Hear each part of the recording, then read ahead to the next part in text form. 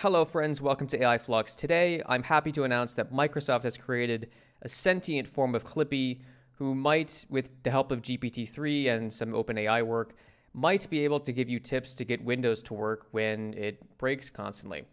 Um, not really, but uh, yeah. So Microsoft has officially said that they're going to use DALL-E 2 in a few services they're releasing. So one of these is called Microsoft Designer which is intended to be rolled out as part of Microsoft Office 365 subscriptions. And there's also a tool that they're rolling out on Bing and in the Edge browser um, called Image Creator, which is probably going to be a more neutered, um, freely available version for this. And I say neutered because it's clear in a lot of what Microsoft has released and what they've clearly told a lot of the publications working on this to do that they're deathly concerned of the implications of what people would do with this, um, with, whether it has to do with what the White House has said, whether it has to do with people making deepfakes. Um, they're clearly kind of concerned. But um, their impetus with this is they've been working with OpenAI for over two years. They're publicly um, OpenAI's exclusive cloud services provider. And that makes sense for a lot of reasons. Um, it's a good marketing play in theory, they could containerize or kind of make these um, pluggable pieces. So if someone wanted to deploy their own private DALL-E, they could say, yeah, go do it on Microsoft hardware. Uh, would I want to be a developer having to work with um, the garbage that is uh, Azure, regardless of if it's running Windows or Linux? Um, definitely not. But uh, the people at OpenAI are smart, so they probably just hired people to do that. So um, this tool, I mean, if you've used DALL-E too, uh, there's not really a lot going on here that's new. It's just kind of a new packaging for this.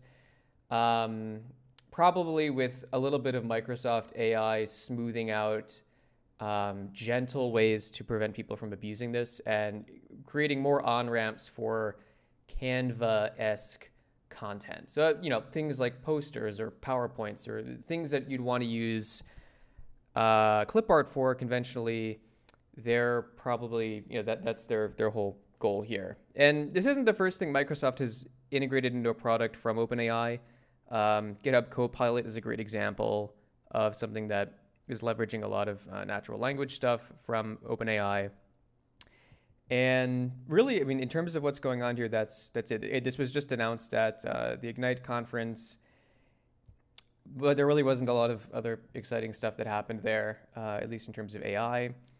And yeah, so why don't we go look at the site that they've launched. So there's a sign up list. You can sign up to be put on a list for early access. And let me open the link here. So it's pretty polished, you know, it's a Microsoft product. They they have a goofy icon for this.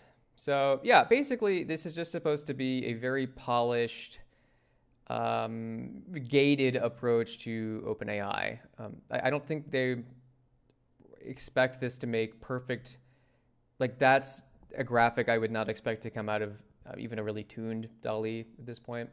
Um, 3D motion graphic, I mean, maybe we'll get there in time, but I don't really see this being there anytime too soon. So yeah, their whole approach here is you can be less creative and uh, do less work Maybe they're targeting realtors here. I don't know. We'll have to see. I think they'll likely be applying some filters like we've seen with some of these other clip art services that eh, pretty much try to gate and improve generally the output that you get without having to tune or play around with it too much. There's going to be a, convolution or like an evolve button which fortunately anyone doing this sort of seriously has figured out that's what people want because people don't want to come up with new prompts. They just want to mix up what they're doing in a, direction that based on your previous prompts you might want to go. That that's what the advanced evolve um, bits are doing. Uh, and it's also image to image right? Because you're, you're using the previous image and taking context from there and creating output that they think you'd want to put in a microsoft doc. So um, will i be buying this? No because I, i've proudly since I changed my major from computer engineering to computer science. Um, ever since, well, the mid 2010s, I have proudly uh, never given Microsoft money since then. So other than maybe for like one Windows license. But uh, so I will not be buying this. Uh, you will be able to use this. Uh, not I, I don't. They haven't really released how many images they're going to allow you to do. I don't think it's unlimited. But if you have a Microsoft 365 subscription or a family subscription, this will be included as a standalone designer app.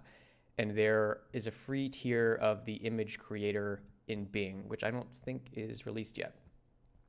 But yeah, um, Clippy is not uh, sentient yet.